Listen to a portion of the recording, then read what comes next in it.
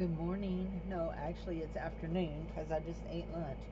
So I've started on the uh, new Happy Mail book. We have all half of the pages tore out, and I covered it. So this is the front of it, and I'll put a gold edge around it, and that is just glitter glue. Is all it is. Is just glitter glue.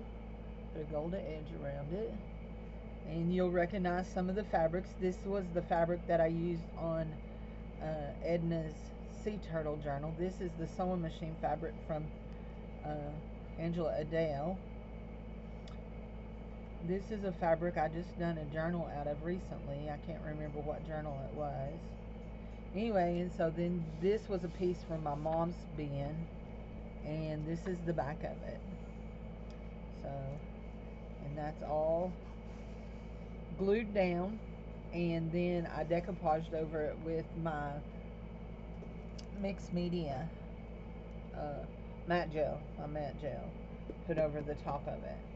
So I'm not going to do gold on the back and uh, the next thing that we're going to do is we're going to cover the inside pages here and make a pocket and here and make a pocket and then we will start doing pages uh, for Happy Mail.